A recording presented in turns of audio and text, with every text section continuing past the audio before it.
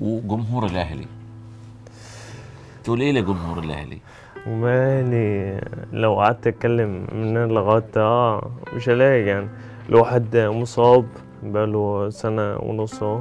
والجمهور بيحس ان العيب في ال- في الفريق آه، صعب يعني. آه،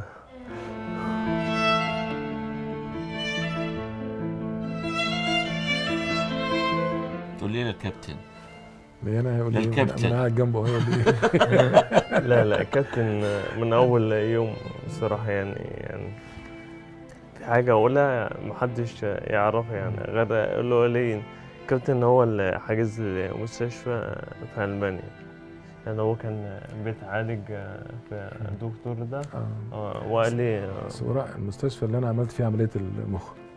هي نفس المستشفى اللي مؤمن راح. كويس. في في هانوفر في ألمانيا. هانوفر،.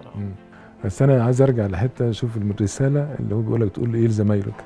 اللعيبه الرسالة اللي قالها مؤمن دلوقتي للاعبين أرجو إن كل الناس كل اللعيبة يعني يوعوها كويس. وإن هو برضه أنا عايز مش عايز أسيبه هو يتكلم الجمهور هو من طريقة إلقائه دلوقتي مش قادر يعبر عن مشاعره للجمهور. للجمهور. يعني مش قادر إن هو يقول يعني مش لاقي الكلمة اللي ممكن أقول.